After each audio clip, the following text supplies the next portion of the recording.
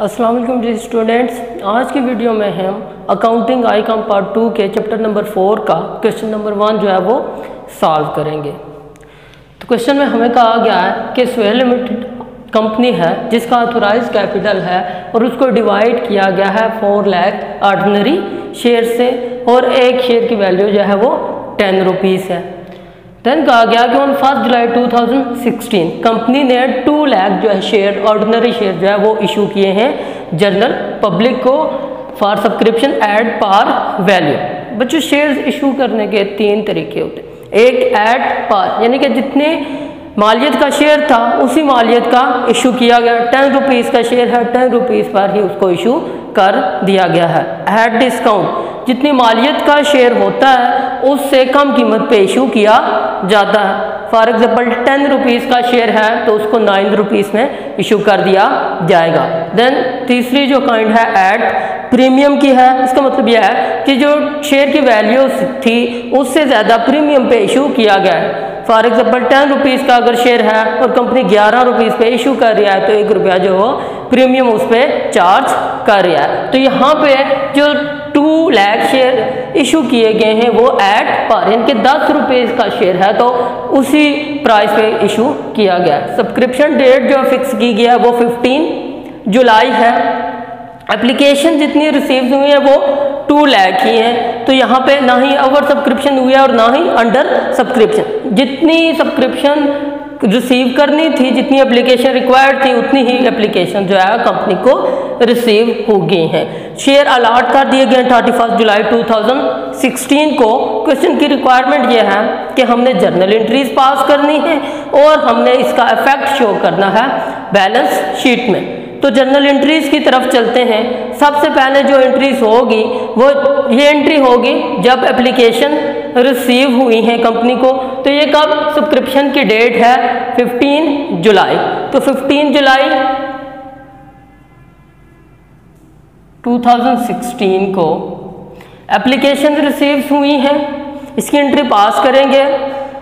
Already discuss हो चुका है अलाटमेंट के मेथड में कि जिस बंदे ने भी, जिन लोगों ने एप्लीकेशन जो है वो सबमिट करवानी होती हैं, वो बैंक में जो एप्लीकेशन सबमिट करवाते हैं अलोंग विद अमाउंट तो एंट्री हो जाएगी बैंक अकाउंट डेबिट क्यों?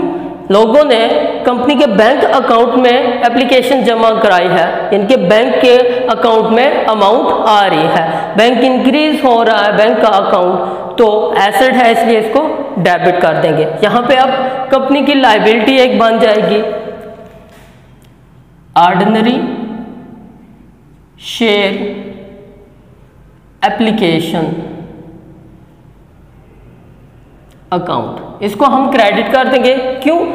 कि बैंक अकाउंट में जो पैसे आ रहे हैं, इन ऑर्डनरी शेयर एप्लीकेशंस के अगेंस्ट आ रहे हैं। तो ये कंपनी की अब एक लाइबिलिटी बन गई है। अब अमाउंट देखते हैं। टू लैख शेयर्स हैं और एक की वैल्यू पार पे इशू कर रहे हैं तो टेन है।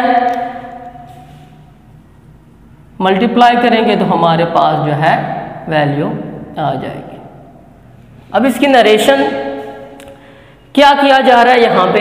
एप्लीकेशन रिसीव हो रही है along with money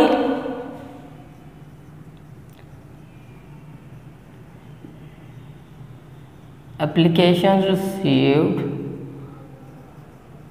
along with money shares कितने थे? Two lakh for two lakh shares at rupees ten each एक शेयर की जो वैल्यू थी वो रुपीज़ टेन थी। तो ये एंट्री बच्चों, जब भी एप्लीकेशन रिसीव होगी, ये एंट्री हमने करनी है। बैंक का अकाउंट डेबिट हो रहा है बैंक के अकाउंट हमारे कंपनी के अकाउंट में पैसे आ रहे हैं और लाइबिलिटी क्रिएट हो जाएगी ऑर्डिनरी शेयर एप्लीकेशन अकाउंट के नाम से। देन अब शेयर अलाट करने हैं कंपनी ने। और ऑलरेडी डिस्कस हो चुका है कि जितनी एप्लीकेशन रिक्वायर्ड थी, उतनी ही एप्लीकेशन कंपनी को रिसीव हुई हैं। तो कंपनी ने उतने शेयर अलाट कर देने हैं। अलाटमेंट की डेट अगर हम देखते हैं तो थर्टी फ़र्स्ट जुलाई है। थर्टी फ़र्स्ट जुलाई को ये एंट्री हो जाएगी। अब शेयर अलाट करने की एंट्री ये होगी। ये जो एप्लीके लाइबिलिटी कंपनी ने क्रिएट की थी, अब इसके अगेंस्ट शेयर अलाट कर दिए गए तो ये लाइबिलिटी ख़त्म हो रही है क्रॉस एंट्री हो जाएगी क्रेडिट था तो डेबिट कर देंगे। ऑर्डिनरी शेयर एप्लीकेशन अकाउंट को एप्लीकेशन अकाउंट इसी अमाउंट से, क्योंकि इतनी ही जो है एप्लीकेशंस आई थी। देन अब यहाँ पे क्रेडिट क्या करें? क्योंकि कंपनी इन लोगों को शेयर अलाट कर रही है। कंपनी के ये शेयर होल्डर बन रहे हैं। तो शेयर कैपिटल जो है वो हम यहाँ पे ऑर्डिनरी शेयर कैपिटल को क्रेडिट कर देंगे। इस लाइबिलिटी के अगेंस्ट कंपनी की ये लाइबिलिटी बन गई है। Ordinary share capital capital account क्योंकि जितनी एप्लीकेशन रिक्वायर्ड थी उतनी ही एप्लीकेशन आई है। ये अमाउंट हम क्रेडिट में लिख देंगे। क्रेडिट हो गया। तो कोई ओवर सब्सक्रिप्शन और अंडर सब्सक्रिप्शन नहीं है तो जितने शेयर जितनी एप्लीकेशन आई थी, उतनी ही कंपनी ने अलाट कर दिए हैं। इसकी नरेशन हो जाएगी two lakh shares allotted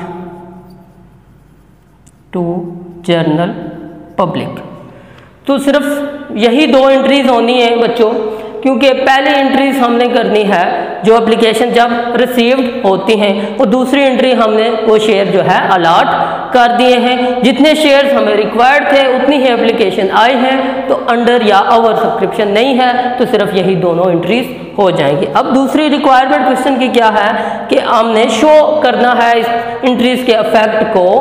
balance sheet में। तो बैलेंस शीट का परफॉर्मा ऑलरेडी मैंने ड्रा कर दिया है। इसमें जो है हम इसको शो कर देते हैं। यहाँ पे बच्चों सबसे पहले ऑथोराइज कैपिटल आ जाएगा।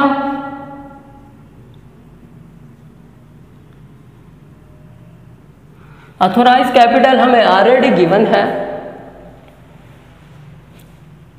और कितने शेयर हैं? फोर लैख शेयर हैं ऑथोराइज कैपिटल के लिए at the rate of ten each तो हमारे पास जो है अथोराइज कैपिटल की वैल्यू आ जाएगी। देन अथोराइज कैपिटल का कुछ हिस्सा जो है कंपनी ने इशू कर दिया है। इशूड कैपिटल अब इशू कितने किए हैं? Two lakh share at the rate of ten general public को तो ऐड करेंगे। मल्टीप्लाई करेंगे तो वही वैल्यू आ जाएगी जो जर्नल एंट्रीज में हमारे पास आ रही है। यहाँ पे एसेट्स इंक्रीज हो रहा है इस एंट्री में अगर देखें तो बैंक का अकाउंट बैंक अकाउंट में पैसे आ रहे तो बैंक एसेट इंक्रीज ये आ जाएगी वैल्यू दोनों साइड अब ये इसको हमने इग्नोर कर देना है, क्योंकि एथोराइज का ये वाला हिस्सा हमने इशू किया है तो ये टोटल में आ जाएँगे। अमाउंट जो है हमारी दोनों साइड की इक्वल आ जाएगी। तो question number one thirty student जिसमें हमने शेयर्स एप्लीकेशन रिसीव करने की और शेयर अलाट करने की एंट्रीज पास की और देन इसका इफ़ेक्ट जो है हमने शो किया है बैलेंस शीट में। नेक्स्ट वीडियो में इंशाल्लाह हम अपना क्वेश्चन नंबर टू सॉल्व करेंगे। Thank you very much and अल्लाह हाफिज़